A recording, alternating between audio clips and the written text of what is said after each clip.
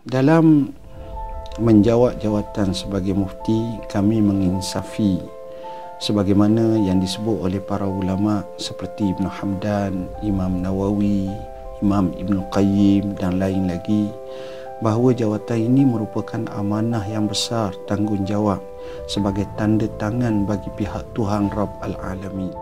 Setiap soalan yang ditanya kepada kami, kami tidak tergopoh-gopoh untuk memberi jawapan dan kami memperhalusinya dalam masa yang tidaklah panjang tetapi kami cuba mengkaji seupaya mungkin.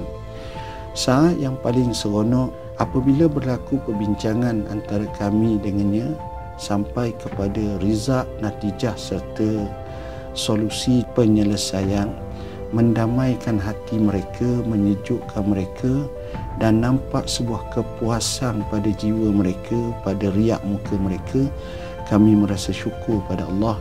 Itulah nikmat dapat menyelesaikan banyak kemeluk masalah ummah termasuk juga kadang-kadang pasangan suami isteri kadang-kadang masalah-masalah yang menimpa seseorang itu.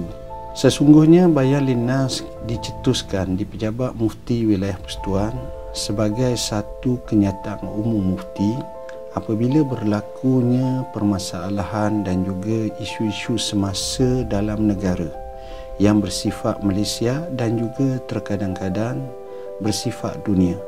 Justru bayan linnas ini kita dapati banyak menyelesaikan masalah ummah di samping memberi satu buah fikiran yang bernas serta solusi kepada masyarakat bahkan pemimpin-pemimpin bahkan masyarakat khalayak termasuk yang bukan Islam sebagaimana kata Dr. Yusuf Al-Qaradawi dalam kitabnya iaitu Fiqhul Jihad salah satu daripada cabang jihad adalah penguasaan IT dalam menyebarkan agama Islam yang sebenarnya.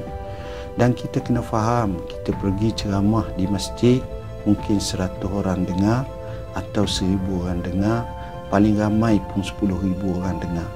Tetapi dengan IT, kita tengok kuasa IT ini bila mana kita masuk di dalam IG, dalam Facebook, dalam laman web, peranan IT cukup besar. Sebab itu saya amat memberi kecanaan dan keprihatinan.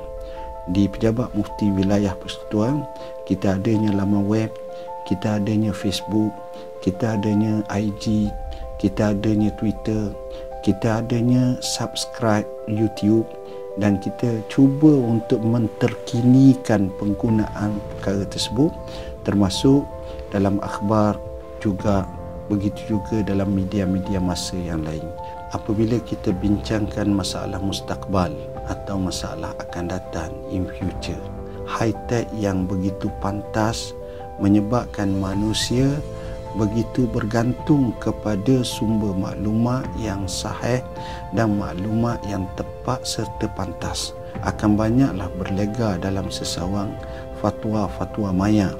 Begitu juga masalah yang dikemukakan itu akan bersifat global kerana apa yang dicakapkan di sini akan diketahui di seluruh pelosok dunia. Jadi dengan sebab itu para mufti pada masa itu perlu benar-benar berhati-hati. Mufti bukan semata-mata melihat dalam bentuk konteks kerangka yang kecil tapi jauh lebih besar.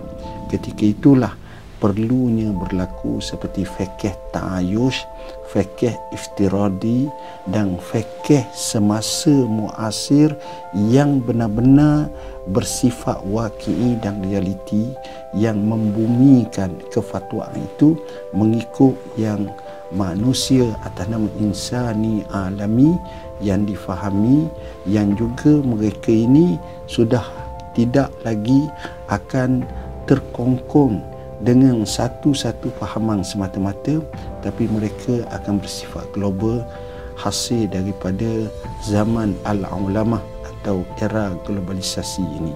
Itulah jangkaan saya yang akan berlaku 100 tahun akan datang